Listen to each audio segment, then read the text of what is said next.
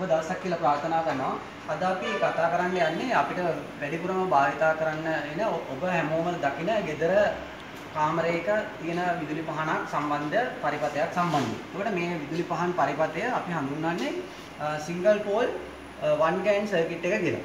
ඒකට single pole one gang circuit එක අපි හදා ගන්නකොට අපි මෙතෙන්දී භාවිතා කරන්නේ මෙන්න මේ වගේ ක්‍රමයක්. අපි ළඟ මෙතන දකින්න හම් වෙනවා අපි ගෙදර වල වල තියෙන අපිට සිංගල් පේස් ඩී බෝඩ් එක තමයි මෙතන තියෙන්නේ. ඒකේ අපිට අයිසොලේටර් එක දකින්න හම්බ වෙනවා. ඊට අමතරව RCCB එක දකින්න හම්බ වෙනවා. ඊට අමතරව MCB කීපයක් මේකේ තියෙනවා දකින්න හම්බ වෙනවා. එතකොට අපි ඒකෙදි මේ MCB එකකින් අපි ලයිව් සන්නායකය 11.13 කියන සන්නායකය අපි කෙලින්ම අරගන්නවා.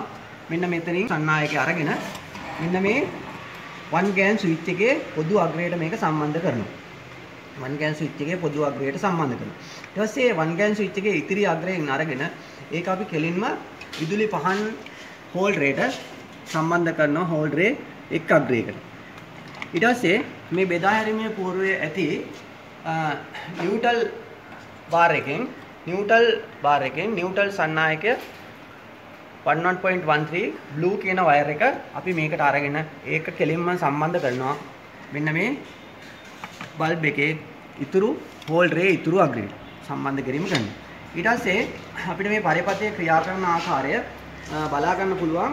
මේ සර්කිට් එකේදී අපි MCB එක ඔන් කරලා ඉවරලා අපි මේ පහන් පරිපථය වැඩ කරන විදිය බලා ගන්න පුළුවන්.